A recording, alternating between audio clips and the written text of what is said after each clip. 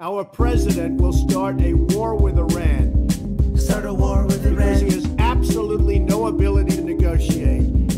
He's got no ability. He's weak and he's ineffective. He's weak. So the only way he's going to get reelected